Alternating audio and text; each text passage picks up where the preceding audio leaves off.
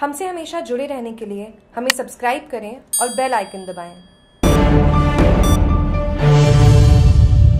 कांग्रेस ने सिर्फ़ इसकी टोपी उसके सर व उसकी टोपी इसके सर वाला ही कार्य किया। डॉक्टर सतीश पूनिया, राज्य संबंध।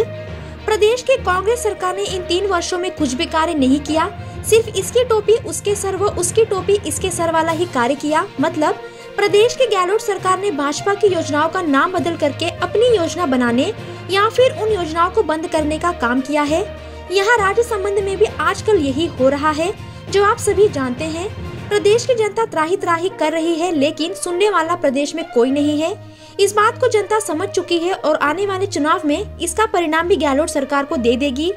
आज प्रदेश में कई मायनों में देश में अग्रणी है, जिनमें अपराध, महिलाओं पर बढ़ता अत्याचार, पेट्रोल और डीजल पर टैक्स आदि है। जिससे जनता बहुत ही निराश है। भाजपा जिला मीडिया प्रवक्ता अरविंद सिंह भाटी ने बताया कि यह बात भाजपा प्रदेशाध्यक्ष डॉक्टर सतीश पुनिया ने पत्रकार वार्ता में पत्रकारों से कही। इस अवसर पर महामंत्री सांसद दिया कुमारी, सुशील कटारा, जिला संगठन प्रभारी वीरेंद्र सिंह चौहान, जिला अध्यक्ष वीरेंद्र पुरोहित, विधायक दीप्ति माहेश्वरी, जिला प्रमुख रत्नी देवी जाट, पूर्व विधायक बंशीलाल खटीक, प्रधान अरविंद सिंह राठौड़, मान सिंह भारत महेंद्र कोठारी, मांगीलाल कुमावत सहित कार्यकर्ता उपस्थित थे। जागरूक टीवी के राज्य संबंध से नरेंद्र सिंह खंगारोत की रिपोर्ट।